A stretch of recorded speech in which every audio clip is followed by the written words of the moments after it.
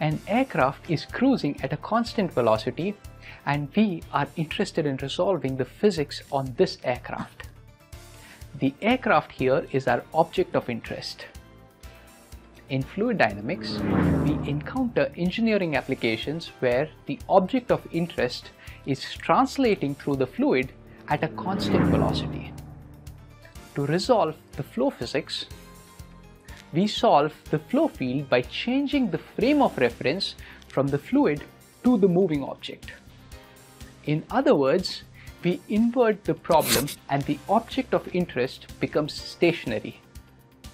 The fluid is now moving over the stationary object at a constant free stream velocity.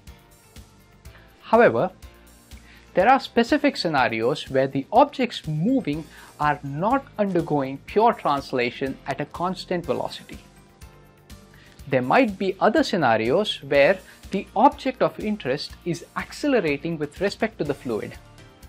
A good example is rotating machinery such as turbines and compressors where the fluid is undergoing rotation. Another engineering scenario involves multiple bodies each moving at different speeds. The motion of a drone is an excellent example. While the rotors of the drone are rotating about their respective axis, the drone itself can move in any direction. Under these conditions, the reference frame transformation is quite complicated and in certain cases it is next to impossible. In this lesson, we will learn about these classes of problems and some methods employed to solve them. There are two ways to solve such a problem. The first way is to solve the governing equations of fluid motion in the stationary reference frame of the fluid and include the motion of moving objects into the analysis. The second way is to recast the governing equations in a reference frame of the accelerating object.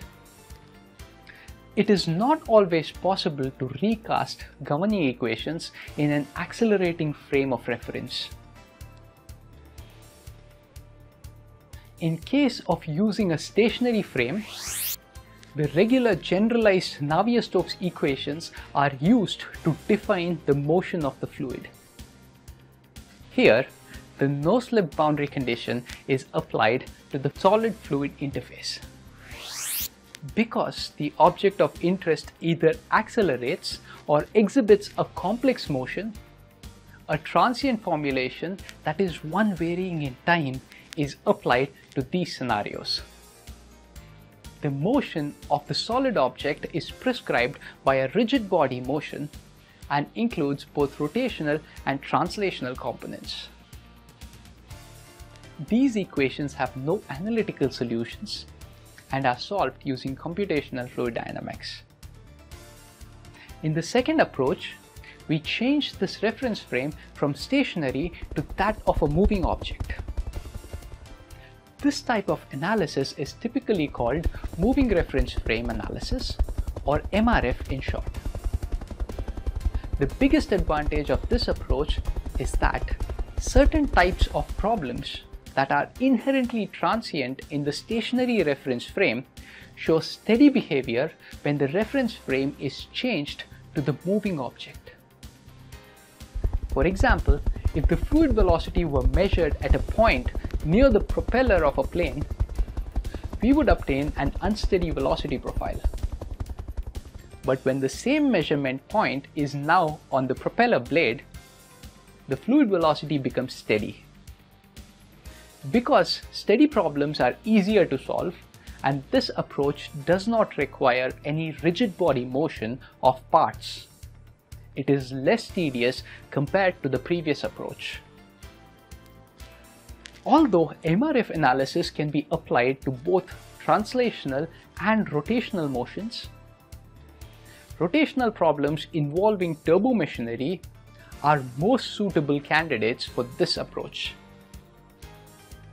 When we model the accelerating objects, additional force terms such as gravitational force show up in the momentum equation of the Navier-Stokes formulation.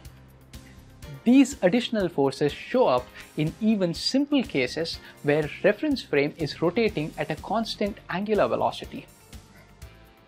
The fluid feels like it is being pulled in different directions during its rotation. Imagine what you would feel when you are inside a roller coaster. Your body feels like it's pulled in different directions based on the movement of the roller coaster. When the roller coaster makes a sudden right, your body feels like it is pulled in the left.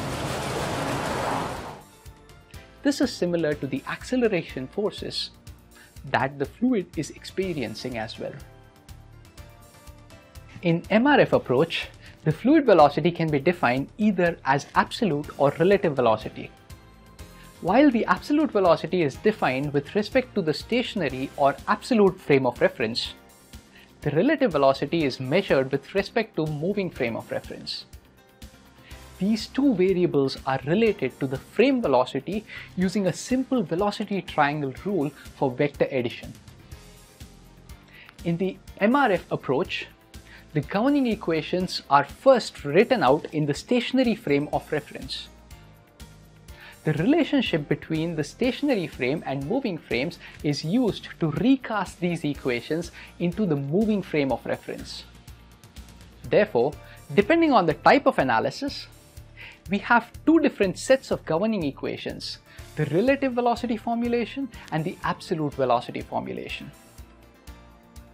The Navier-Stokes equations based on stationary frame of reference are transformed to a moving or rotating reference frame to obtain the relative velocity formulation. The equations for the absolute velocity formulation are obtained from the relative velocity formulation. The momentum equation in both formulations have additional Coriolis and centrifugal acceleration terms as well. Moreover, the force balance in the relative velocity formulation contains additional terms, the frame acceleration term. The equation for the relative velocity formulation has both rotational as well as translational accelerations.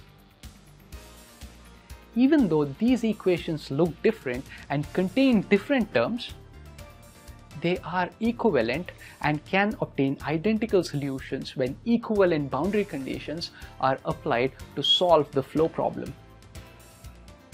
Additional scalar transport equations might be necessary for certain problems and have the same form in both formulations. MRF is most suitable for solving the flow field in rotating frame applications such as turbines, compressors, fans, propellers, and pumps. Pumps and turbines seem similar in their engineering construction but are fundamentally different. Pumps are used to inject extra work into the fluid, thereby increasing its pressure, while turbines use the energy from the fluid for power generation. In addition, these modeling techniques can be employed to design mixing tanks where it is required to figure out how to efficiently mix either two or more fluids or a fluid and some solids. Other engineering applications where this type of rotating frame of reference analysis is critical are rotating cavities, disk drives, and electric motors for developing electric vehicles.